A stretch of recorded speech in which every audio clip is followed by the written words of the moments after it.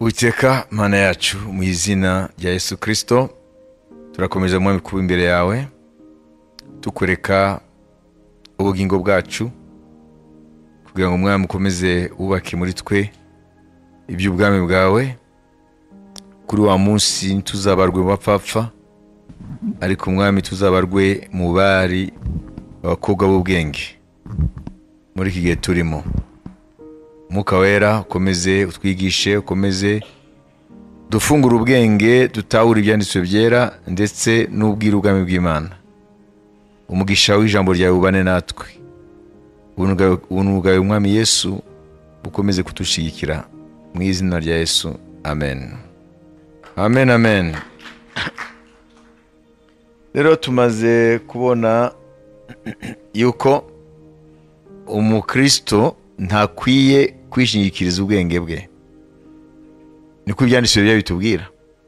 Imigani gatatu gatanu karindwi gatanu karindwi. Ah, ni ukuvuga ngo ubwenge bwacu bushobora kudushuka. Mm. wowe ukibaza yuko ibyo uzi ari byo ariko ugasanga si byo. Mm. na niyo kibazo rero abantu benshi bagira mu kugendana n'imana. Kuko imana ifite ijambo yavuze. Natwe dufite ibyo dutekera muri amosi ngo abantu babiri bafatanya bata urugendo bata batasezeranye. Badahuje. Wagendana gute n'imana ifite ibitekerezo byayo nawe ufite ibyawe? Kandi imana yaravuze ngo nk'uko ijuru ryitaruye isi cyane. Ngo niko n'ibitekerezo byanjye biri hejuru cyane y'ibyanyu n'inzira zanjye ziri hejuru cyane y'inzira zanyu. Kandi turabizi ko iyi si n'ijuru ntawe bizahurira. Birasaba ko twebwe rero tuva mu byacu ibitekerezo no mu zacu nzira ahubwo tukagana ibitekerezo by'imana n'inzira z'imana. Ikunde ko tugendana n'imana. Amen. Haleluya Mm. Mm. ntabwo byoroshye. Mm. iyo usomye ijambo ry'imana. Uba uri imbere y'ibitekerezo by'imana. Kenshi ugasanga bigonganye n'ibya n'ibyawe. None biragenda gute? Ko imana itazigera iva mu byayo mu bitekerezo byayo ngo ize mu byawe. Wowe kiremwa muntu imana yaza mu bitekerezo byawe. Ahubwo ni wowe kumenya ko ibitekerezo by'imana na- ni byo dukwiye kwinjiramo. Kugira ngo tugume dutsimbaraye ku bitekerezo byacu. Imana ishimwe haleluya ikintu gikomeye cyane. Mm? ibitekerezo. Ni danje cyane cyane mu kugendana n'imana. Iyo ibitekerezo bitara bitarahindurwa. Mm, nk'uko abaroma cumi na kabiri kabiri bavuga muhinduke bashya mu mwuka ubwenge bwanyu ibitekerezo byanyu soyez transformés par le renouvellement de l'intelligence. Donc notre intelligence a besoin d'être renouvelée ibitekerezo byacu bikwiye guhindurwa bi? Bishya Mm. be transformed by the ren- renewing of the mind. Kuba transformed? Bikwiye guhinduka twarize rimwe hano ku byerekeye mindset y'ubwami. Hari ibitekerezo by'ubwami. Bitandukanye n'ibitekerezo byacu. Mm. none. Umukristo nimba atarahinduka musha mu bitekerezo bye ntazigera na rimwe anezeza imana. Kuko biratuvuga ngo no inimitié contre Dieu. Ngo ibitekerezo byacu twebwe ni ubwanzi ku mana. Muri ubwo bimeze? Eh. nubwo udatekereza ngo wange imana ariko ibitekerezo byawe nimba ari byo bigupakiyemo ari byo wumvira bikujyana mu kugomera imana. Niko bimeze. Ko ngo ibitekerezo bya kamere ntibishobora gusingira iby'umwuka w'imana. Ngo ahubwo ngo birarwana. Mm? ibyo wibwira nk'umwana w'umuntu n'ibyo imana yibwira bigaragara mu ijambo ryayo birahabanye. Amen. Rero umwuka wera ni byo ari kumwe natwe twaramwakiriye twamwakiriye nk'ikimenyetso cyo ku munsi wo gucungurwa kw'imibiri yacu. Twaramwakiriye nk'umwigisha utwigisha twaramwakiriye nk'uduhumuriza mu bitubabaza twaramwakiriye nk'umufasha mm, adufasha muri byose ndetse no mu gusenga twaramwakiriye muri ibyo byose birivuga ariko twabonye ko no mu ntambara umukristo wahura na zo umwuka wera arazirwana. Mwabyumvise ariko se tuzinjiramo tuyinjiramo gute mu nsinzi cyo kibazo cy'uno munsi. Mm. nako niwo mutwe w'uno munsi. Ni swite ni ibikurikirana bikurikira ibyo kuwa gatatu. Icya mbere twabonye ko twabonye iki? Icya mbere cya mbere ukwiye kubakaho icyakuzana intsinzi ni iki? Twabonye ko intsinzi ntabwo iba muri twe iba muri we. Wayibise amen. Intsinzi ntabwo iba muri wowe iba muri we muri kirisito nusoma yohana cumi na gatandatu mirongo itatu na gatatu niko atubwira? Ibyo mbibabwiye kugira ngo mugire amahoro muri njye. Mu isi mugira umubabaro ariko nimuhumure nanesheje isi. Muhumure nanesheje isi. Ntabwo yavuze ngo muhumure nzayinesha. Yarayinesheje. Iyi si turimo y'umwijima itwarwa na satani yesu yarayinesheje. Ni gute rero iyo nsinzi ye yaba apurike mu buzima bwacu bwa buri munsi? Ni gute iyo nsinzi ya yesu kirisito kuri iyi si? Yaba iyanjye mu buzima buri munsi. Icyo kibazo rero. Kuko twumvise ko intsinzi ntiri muri twe. Ntabwo iri muri sitarateji dufite ntabwo iri mu mbaraga zacu mu bumenyi bwacu mu byo dutunze imbara i- intsinzi victoire iri muri we. None niba ari muri we iyo ntsinzi nayigira gute ikaba iyanjye buri munsi mu buzima bwanjye? Aho ni ho hari ikibazo. Tumaze gushyiraho ibyo bita positura ni ukuvuga ngo tumaze kwemeza yuko intsinzi itari mu- mwana w'umuntu intsinzi iri muri yesu. Ku mbaraga zose umwana w'umuntu asanga muri iyi si kandi zikaba ari imbaraga zu- z'ubugome z'umwijima. Noneho yamara gukizwa rero noneho agahinduka umwanzi wazo. Urumva rero intambara y'umukristu twabonye abefeso gatandatu cumi na kabiri ntabwo abanzi be ari abantu abanzi be ni ibirema byo mu mwuka Mm, ni abakuru ni abatware ni abateka isi umwijima ni imyuka mibi ahantu ho mu ijoro abo bose nibo bitwa imbaraga z'umwijima. Abo bose rero barakurwanya wowe mukristo ariko rero kuko utababona nta kuntu wowe babarwanya ku giti cyawe. Kuko utababona ntiwamenya uko babarwanya niyo mpamvu rero uwabanesheje ni umwe ni yesu kirisito niyo mpamvu intsinzi ye rero turashaka ko tuyibona in our daily life mu buzima bwacu bwa buri munsi. Mu buzima bwacu bwa buri munsi. Iyo ntsinzi tuyibone mu buzima bwacu bwa buri munsi. Abakolosayi kabiri cumi na kabiri. Abakolosayi kabiri cumi na gatanu. Kandi imaze kunyaga abatware n'abafite ubushobozi ibahemura ku mugaragaro ibivuga hejuru ku bw'umusaraba. Ba bandi bavugwa mu efeso gatandatu cumi na kabiri ngo yesu yarabanyaze ubutware bwabo kubw'umusaraba abo rero nibo banzi bacu. Abo nibo baguteza ibyago nibo bakurwanya ngo ntuzaragwe ibyo bavuyemo. Kuko ibikomangoma by'umwijima byari mu ijuru. Umukuru wabo satani yitwaga umukerubi w'ubwiza lucifer l'ange de lumière.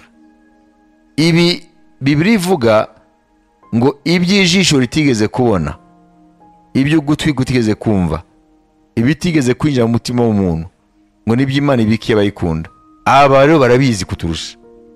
Kuko aho biri ni ho bari bari. Amen? Urumva rero? Twebwe tubizi mu kwizera. Ariko bo bahozeyo. Barazi iri jambo icyo ri- icyo rivuga. Mm, amen? Aba- aba- abakorinto ba kabiri bo bazi ibyo bivuga bazi icyo bivuga. Abakorinto ba mbere ibice bibiri icyenda. Aba bakuru b'umwijima abamarayika bakoranywe na satani les anges deshu barabizi ibi. Ariko nk'uko byanditswe ngo iby'ijisho ritigeze kureba n'iby'ugutwi kutigeze kumva ibitigeze kwinjira mu mutima w'umuntu ibyo byose imana yabiteguriye abayikunda. Amen. Twebwe ikabiduhishurira mu mwuka wera kuko ntabwo twayibona ubu uriya murongo wa cumi. Twabimenye dute? Ariko imana yabiduhishurije umwuka wayo kuko umwuka arondora byose ndetse n'amayoberane y'imana. Amen. Numva? Twebwe ibyo ijisho ritigeze ku- kureba amatwi atigeze kumva ibyo nta kundi twebwe dushobora kubimenya. Ngo ni umwuka wera muri twe. Aduha iyo certitude atwemeza ko ibihari. Kuko bamwise down payment murabyibuka? Bamwise ac- eh, bamwishe avance. Umwuka wera ngo ni ingwate imana iduha kugira ngo twemeze ko n'ibindi byose birahari. Umwuka rero yatwemeje mu mitima yacu ko bihari. Urumva rero twebwe tubyakira mu kwizera. Ariko aba banzi bacu bavugwa mu efeso gatandatu cumi na kabiri abo yesu yanyaze abakorosayi kabiri cumi na gatanu bo ba- bara bo barayibonye barabyumvise. Mwabizi kuko bari mu ijuru. Urumva rero? Ni ngombwa rero ubugome bwabo butumwe bakurwanya wowe mwana w'umuntu ntuzaragwe ibyo bo batakaje. Niyo misiyo yabo niyo ntego yabo. Ni gute umwana w'umuntu wi- wo mu mukungugu kuko imibiri yacu ibiri yitwa mu mukungugu ni gute umwana w'umuntu w'umukungu azagenda akinjira akinjoyinga akanezerwa akanezerwa ibyo twirukanywemo ati natwe tuzarwana mpaka bishobotse azagereyo imbarwa.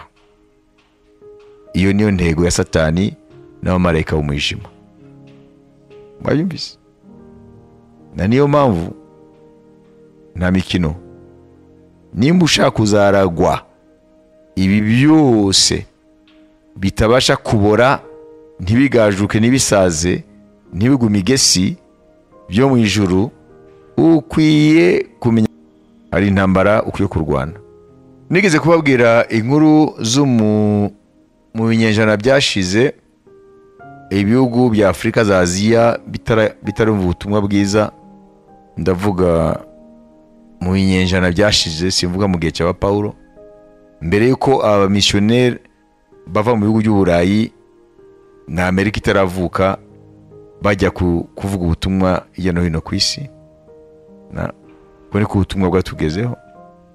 Hariho mwene data w'umwongereza mu binyejana byashize yumvise umuhamagaro w'imana muri we yarangije kaminuza hanyuma agira umutwaro w'ayandi moko y'abantu hirya no hino ku isi batarumva ubutumwa bwiza.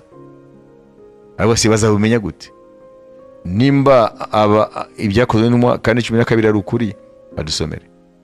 Kandi nta wundi agakiza kabonerwamo kuko ari nta rindi zina munsi y'ijuru ryahawe abantu dukwiriye gukirizwamo. Atari izina rya yesu. Nimba izina rya yesu ryonyine abantu bakwiye gukirizwamo kandi hakaba hariho abantu batabarika batarumva iby'umwami yesu aho ni imbere y'ikinyenjana amen aho ubutumwa bwakwiye hirya no hino ku isi. Amen. Aleluya noneho yumva afite umutwaro wo kujya muri bihugu bya amerika y'amajyepfo. Le tribu amazonienne bariya abantu batuye muri rya shyamba rya amazoni hariya bari nta muntu n'umwe arabageraho. Bibereye mu ishyamba ryabo baramenye ukuntu bivuza ibyatsi byo muri iryo shyamba. Nta civilisation irabageraho nk'uko babivuga. Hanyuma agira umutwaro wo kujyayo. Baramusengera baramusezera ko umuhamagaro wari ukomeye muri we. Afata urugendo aragenda. Urumva nta ndege zari zihari. Ubwo ni amato agezeyo arinjira atangira kugenda muri iryo shyamba noneho acubika muri grotte ari ubuvumo kubera imbeho n'ibindi byose. Ariko yari amaze kubwiriza nka- nk'abake ya- ya- yabonye numva icyo gihe ni abantu batigeze banabona n'umuzungu abo bantu. Mm, des peaux rouges les amérindiens. Bariya bita ba peaux rouges. Nibo basonga butaka. Ba amerika ba canada yose. Noneho hanyuma bo rero ntabwo babonye ko ari umuntu nkabo. Mm, ndavuga abandi nyine ba nimba imana yarakoze kuri bangahe ntibamugire nabi. Urumva yababwiraga ni amarenga. Eh, abandi rero baraza rero baramu- baramurasa ya myambi yabo. Arapfa. Ni ukuvuga ngo bari bazi ko bishe inyamaswa bari burye. Ara- arapfa nyine Mm, ubwo bari abakanibare rero barya abantu. Noneho imyaka irahita indi irahita indi irahita mu gihugu yaturutsemo cy'ubwongereza baravuga ati ko nta makuru ntaki byose bazi gusa destination yaho ugiye ko agiyemo kubwiriza bahita rero bohereza ekipe rero izagenda imushakisha aho rero imyaka imaze kuba myinshi n'iterambere eh, naryo ryakataje mu buryo ba bantu rero baje kugerwaho nabo na civilisation gato ntabwo bakiri sauvage sauvage nka mbere. None baragenda bageze aho rero muri iyo shyamba nyine rya amazoni niki barabaza yuko bigeze kubona kumubona niki. Urumva ubwo ni indi generasiyo Eh, ariko hariho bamwe basaza bigeze kumenya iyo nkuru noneho bahita bababwira rero ibye. Ariko hari abantu baje kumenya yesu kubera we. Nyuma bamenya icyo yababwiraga. Nyuma nyine bamaze kugira ouverture n'abandi bazungu bakajyamo eh, kubera amerika eh, na za canada ni ukuvuga ngo bariya abantu rero basanga ubutaka batangiye eh, guhura n'abandi. Eh, nk'abariya nyine ba conquistador eh, bagiye ku- kubambura ubutaka bwabo n'ibiki byose. Mm, Espagne na yo ubukoloni bwabo hariya n'abandi. Noneho bababaza se yaba yarapfiriye? Barashakisha bafashijwe n'abo ba nyiri iyo shyamba. Noneho bagera rero muri grotte. Aho hantu hari eh, ubuvumo. Basanga bibiliya ye na ajenda ye. Yararinzwe. Hanyuma muri ajenda ye basanga yaranditse aya magambo. Aravuga ngo bimariye iki umuntu kugundira icyo adashobora eh, kugumana. Bimariye iki umuntu kugundira icyo atashobora kugumana iteka. Aho kugira ngo wayumvise? Arekure ibyo adashobora kugumana iteka kugira ngo asingire ibyo icyo adashobora kwakwa. Ibyo ni byo basanze yanditseho. Ese muri ibyo byanditseho ngo bimariye iki umuntu kugundira icyo adashobora kuza kuzagumana iteka? Ibyo ni iki? Ni igiki udashobora kuzagumana iteka? Ni ubuzima bw'isi. Kuko ejo mu gitondo nupfa byose urabisiga hanyuma ngo ahubwo warekura icyo udashobora kugumana iteka ngo usingire icyo udashobora kwakwa ite? Iteka ni igiki cyo? Ubwo ngo buhoraho. Yahisemo neza rero. Icyo ni cyo kintu gusa ba- ba- ba- bashoboye kurekipera kuri uwo muntu wabo. Bibiliya ye na ajenda ye yanditse ayo magambo. Abo rero bene abo batanze icyo kiguzi. Bazarabagirana nk'inyenyeri iteka ryose. Hanyuma mwibaze nimba tuzabahagarara imbere. Tuzacurika imitwe. Kuko ubukristo bwacu nta sacrifice irimo. Tuzacurika imitwe. Uzabitekereza ibyo. Kuko umwami azabahamagara azakwereka abantu babaye muri kondisiyo ziruta izawe. Kondisiyo zigoye kurusha izawe. Ati ese uriya se ko yitanze. Dore nkwereke ubuzima bwe bwari hanyuma y'ubwawe mu mihati mu mibabaro. Ariko dore kuri yamenye yaragufashe akubamo. Wowe uzavuga iki? Tuzasigara bush be speechless. Tuzasigara speechless. Nta jambo tuvuga. Tekereze kuri ibyo. Mm, tekereze ko uwo muntu arindira umuzuko mwiza. Umuzuko w'abakiranutsi ari umuzuko wa mbere. Twebwe turagundira icyo tudashobora kugumana ite? Iteka. Nicyo kibazo dufite. Amen. Turagundira ubuzima bwacu buri bu- burahenze cyane turabufite eh? kandi uko bugiye uko bwije baraduca mu myanya y'i- y'intoki. Eh, mwabyumvise ibyo. Mu bisanzwe uriya mukozi w'imana wagiye kwitangira bariya bantu mu ishyamba rya amazoni impamvu ibyo yavuze afete ni ijambo rivuga ngo umuntu byamumarira iki kunguka ibyo mu isi byose agatakaza ubugingo bwe. Niryo jambo yafashe. Hanyuma arigenderaho.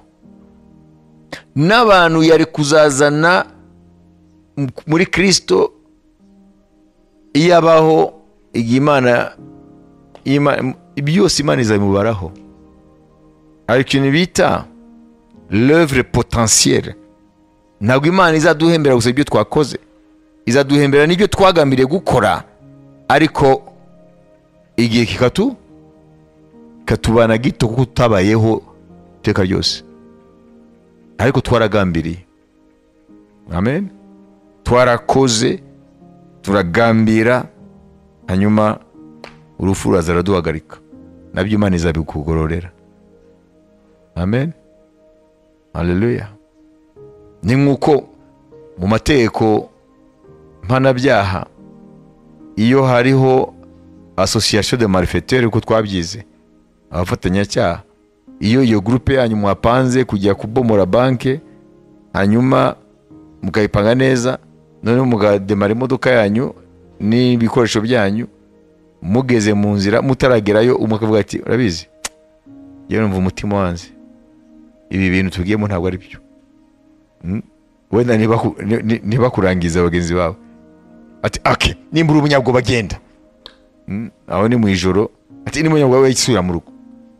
Hanyuma bakagera bagafatwa.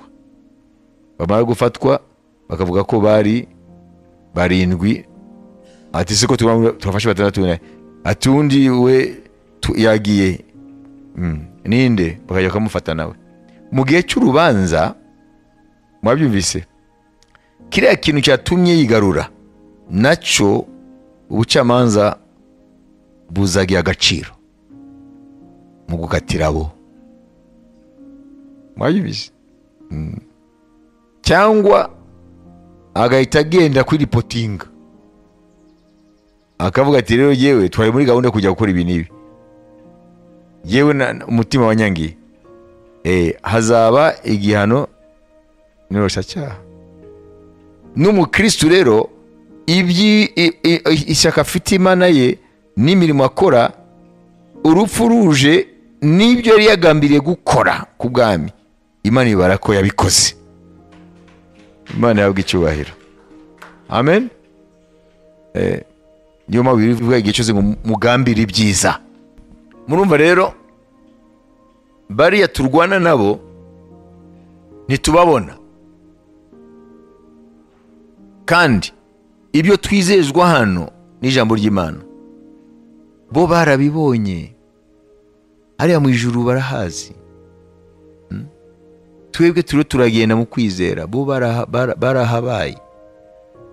Satani bakubwira ko yari umukerubi. Umukerubi ntabwo ari umumarayika we wese. Ni urwego rwa mbere rw'aba rw'abamarayika mu mbaraga mu bwiza no mu bindi. None wibaza ko ibi bintu birivuga byo mu ijuru kuri we ni amayobera ahubwo ikintu kimuyobera nawe wabivise satani n'abamarayika b'umwijima bamukurikiye. Hamwe n'abamarayika b'imana. Bagumye iruhande rw'imana. Kuko kimwe cya gatatu cy'abamarayika bose imana yaremye cyaragomye. Na satani. Bibiri bya gatatu ni byo basigaye mu ruhande rw'imana. Bose baba satani n'abamarayika b'umwijima be. Baba abamarayika bera b'imana bose ikintu kibayobora ni kimwe. Mushaka kumenya urwandiko rwa mbere rwa petero y'icya mbere mu rwa cumi cumi na kabiri. Abahanuzi bahanuye iby'ako gakiza barondoraga iby'ubuntu mwari mugiye guhabwa. Babishimikirije barondoraga igihe icyo ari cyo n'ibimenyetso byacyo byereka- byerekanwaga n'umwuka wa kirisito wari muri bo aga- agahamya imibabaro ya kirisito itari yaba n'ubwiza bw'uburyo bwinshi bwari bugiye kuyiheruka. Kandi bahishu- bahishurirwa yuko batabyiyerekewe ahubwo ko ari mwe by- babyerekewe. Ibyo ibyo none mumaze kubibwir- kubibwirwa n'ababwirije ubutumwa bwiza babibwirijwe n'umwuka wera. Wohe- woherejwe ava mu ijuru. Kandi ibyo ibyo abamarayika babigirira amatsiko baga- bagashaka kubirunguruka. Amen. Abamarayika mm, ibya kirisito ni urujijo no kuri bo. Mm. kandi birumvikana. Abamarayika hano ntibakubwiye ngo ni abamarayika b'imana cyangwa basa satani ni abamarayika bo bose. Yaba abamarayika b'imana bibiri ya gatatu yaba abamarayika ba satani si uko satani yabaremye ah, ni abamarayika bamukurikiye muri rebellion. Mu kwigomeka ku mana kimwe cya gatatu. Abo bamarayika bose ngo ibya kirisito kugeza ubu ni urujijo ngo ba- bagerageza kubirunguruka barebe yuko babitahura ariko bikabasiga. Kubera iki? Nimba abamarayika baturusha ubwenge babaye mu ijuru twe tutaragera tutaragerayo ibya kirisito kuba yarambaye umubiri kuba eh, yarababajwe ku musaraba n'ibiki byose. Ibyerekeye redemption ibyerekeye redemption ibyerekeye gucungurwa. Abamarayika bose birabasiga. Murazi impamvu bibasiga? Dore impamvu bibasiga. Baribaza ukuntu iriya mana bazi mu ijuru. Eh? yabaye umuntu. Ibyo birabasiga. Wabyumvise Mm. donc le mystère de l'incarnation niko bita hein? mystère de l'incarnation imana kwambara umubiri abamarayika birabasiga nkanswe twebwe rero. Niyo mpamvu rero tunakinisha agakiza byumvikane se? Niyo mpamvu tunakinisha gakiza. Kuko n'abamarayika birabasiga kugeza kuri iyi saha birabasiga koma iriya mana tuzi. Ah, imana yabaremye. Ni gute uriya mugabo? Ari we ya mana. Bir- birabasiga. Mwansure w'umwana w'umuntu rero. Na ni byo pawulo mu mwuka wera amaze guhishurirwa kirisito ari we avuga mu rwandiko rwa mbere yandikiye timoteyo ibice bitatu ku murongo wa cumi na gatandatu. Ni ibi nyine? Ko abamarayika nabo ku byerekeye yesu kirisito imana yambaye umubiri. Si ugushidikanya ubwiru bw'ubumana burakomeye cyane. Ah! Ubwira ubw'ubumana burakomeye ni ubuhe? Imana kwerekanwa ifite umubiri. Aha! Imana kwerekanwa ifite umubiri. Ngo birakomeye? Cyane.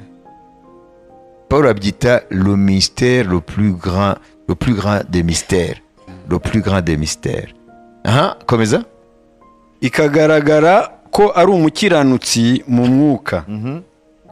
Ikabonwa n'abamarayika. Ah, ikabonwa? N'abamarayika. Hariya mu ijuru. Mu isi. Mu isi! Amena ya mana bazi mu ijuru. None bayibonyemo mu? Isi. Mu isi mubiri wa kimuntu. Les anges ne reviennent pas. Abamarayika ntibabyumva. Komeza. Ikamamazwa mu banyamahanga. Mm, ari bo batwebwe. Ikizerwa mu isi ikazamu- ikazamurwa igahabwa ubwiza. Voilà. Muri verse imwe gusa umurongo umwe gusa pawulo mu mwuka wera ayishuye ubwiru bukomeye cyane. Bukomeye. Ubwiru bukomeye cyane. Niyo mpamvu abana b'abantu ntibashobora kumenya neza ibya yesu kirisito mu rwego rukwiriye. Kuko n'abamarayika ubwabo birabasiga. Umwuka gusa aradufasha akaduha kumwizera. Ariko ntabwo tumutahura ko bikwiriye. Nimba abahoze mu ijuru bibas- bibasiga. Nawe wowe mwana w'umuntu uba mu nzu y'umukungugu. Wakabimenya gute mu rwego rwabyo? Oya gusa ubuntu bwa kirisito buguha kubyizera ariko kuba wabitahura sigaho kuko n'abamarayika ntabwo babitahura birabasiga sans contredire le mystère de la piété grande. Dieu qui s'est fait homme. Et sans contredire le mystère de la piété grande. Celui qui a été manifesté en chair. Celui qui a été manifesté en chair. Imana yagaragaye mu mubiri. Ubwo ni bwo bwira ubusumba ubundi bose umvereza hano mu cyongereza avuga ngo beyond all question. Beyond all question. The mystery from which true godliness springs is great. He appeared in the flesh was vindicated by the spirit yamijwe n'umwuka wera ko ari imana was seen by angels. Abamarayika baramu baramubonye mu mubiri. Was preached among the nations. Muri twebwe abanyamahanga. Was believed on in the world. Arizerwa mu isi. Was taken up in glory. Ajya mu ijuru. Ariko mwumvise ngo beyond all question. Ni ukuvuga ngo birarenze. Amen? Beyond. Amen? Haleluya ni ukuvuga ngo iby'imana kuba yarambaye umubiri ari we yesu nazareti biri beyond all questions. Biri beyond all understandings. Birarenze uko twabitekereza. C'est infiniment au delà de toute compréhension. Birarenze cyane ariko akaba yarikoze ku bwawe nanjye. Icyo cyo gikuru. Imana ishimwe cyane. Akaba yarabikoze kubera wowe nanjye. Nubwo tutabitahura birenze. N'abamarayika bari mu ijuru nabo n'abari mu ijuru nabo birabarenze. Ariko kuba yarabikoze kubera wowe nanjye ibyo turabimushimiye haleluya amen. Beyond all questions. Beyond all understandings. Au-delà infiniment au-delà de toute compréhension. Birenze uko umuntu yabi- ya- ya- yabitekereza imana rurema kwambara umubiri icyo ni ikintu gikomeye cyane icyo ni ikintu kirenze. Imana rurema kwambara umubiri w'umuntu Mm. ikagendagenda muri iyi si. Na ni byo tugeze kuvuga cyangwa twabwiraga wa mu astronaute yagiye ku kwezi murabyuka? Amen. Yitwa james irwin. Tugeze kumubwira james irwin astronaute w'umunyamerika. Yavutse tariki cumi na zirindwi mu kwezi kwa gatatu igihumbi kimwe magana cyenda na mirongo itatu. Apfa mu kwezi k'umunani mu kwezi k'umunani tariki umunani igihumbi kimwe magana cyenda na mirongo icyenda na rimwe. Amen. James irwin. Haleluya yagiye muri apollo cumi na gatanu. Yari umupiloti wa apollo cumi na? Cyogajuru cyitwa apolo cumi na gatanu apollo 15 okay? Akaba ari umuntu w'umunani mu bantu bagenze ku kwezi. James e irwin. Uyu james irwin ni we yavuze ko yagiye ku kwezi nta kwizera afite mu mana. Ava ku kwezi yizera umwami yesu kirisito Ah? hanyuma aravuga ngo igitangaza si ibirenge by'umuntu byakandagiye ku kwezi. Igitangaza n'ibirenge by'imana byagenzage- byagenzagenze muri iyi si muri yesu kirisito w'i nazareti. Mashi menshi ku mwami yesu kirisito ngo igitangaza ntabwo ari ibirenge by'umuntu byakandagiye ku kwezi. Ngo itangaza n'ibirenge by'imana byakandagiye kuri iyi si yacu mu muntu yitwa yesu kirisito w'i nazareti. Icyo ni cyo gitangaza. Kuva aho yaviriye ku kwezi yahise ahinduka umukozi w'imana. Aho kwamamaza siyansi yamamaza yesu kirisito umukiza we. James irwin. Mumufate mu mutwe. James irwin.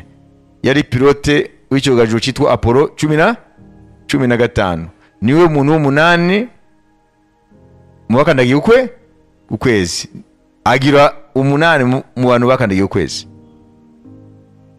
Aravuga ko yagiye atizera imana agaruka yizera yesu kirisito kuva icyo gihe ubuzima bwe bwose yahise akorera umwami yesu kirisito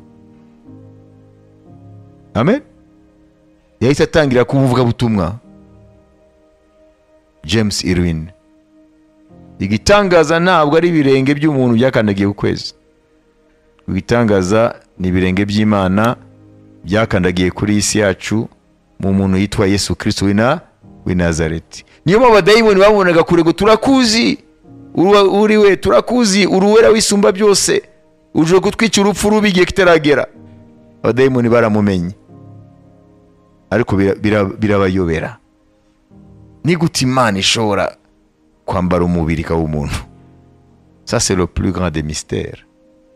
Ariko ikintu gikuru muri byose yabikoreye twebwe. Ntuzabyibagirwe imana ishimwe. Tujye wibuka ubuhamya bwa james e? Irwin. Hmm? urumva yapfuye si kera cyane mirongo icyenda na ri- na rimwe amen. Igihumbi kimwe magana cyenda na mirongo icyenda na rimwe ni ho yapfuye james irwin. Apfa ari umukozi w'imana apfa avuga ubutumwa bwiza bwa yesu kirisito Hmm? urabona ko imana rero iha agakiza abantu b'ingeri zo zose Hmm? Kuvuga ngo "Eh, ngo abakizwa ngo ni abaswa. Irwin se nawe ni umuswa. Eh? james irwin ni umuswa. Astronaute wa apollo 11 pilote wa apollo 11 huitième homme avoir marché sur la lune ni umunani mu bantu bakandagiye ukwezi. Avayo yamamaza ye yesu kirisito dufate iminota itanu dutekereze kuri ibi. Tekereza ku bwiru bw'imana yambaye umubiri ku bwawe. Twayisomye muri timoteyo kangahe? Wa mbere gatatu cumi na gatanu cumi na gatandatu kubera iki twavuze ibyo? Twavuze duti abaturwanya bafite impamvu kuko tuzaragwa aho bi mu byo ba bahozemo birukanywemo. Niyo mpamvu rero intambara rero y'umukristu ntabwo yoroshye. Kuba rero bamurwanya saba inyama n'amaraso. Ntibaruha ntibasinzira nkawe ntibasonza ntibanyoterwa niyo mpamvu twavuze ngo intambara y'umukristu ntabwo ay- ayiziga muri we ahubwo intsinzi ayiziga muri kiri muri kirisito imana yabwa icyubahiro. Tufate iminota itanu mwese ajya imbere y'imana. Ariko ikuru utekereze ko ibyo abamarayika batangarira imana yabikoze ku bwawe. Amen. Kuba imana yarambaye umubiri amen yabikoze ku bwawe.